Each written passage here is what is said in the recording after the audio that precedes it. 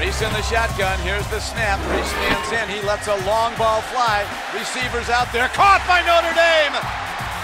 Fighting down the sideline. Still working It's Still working it. Officials there. Touchdown Notre Dame. DaVaris Daniels.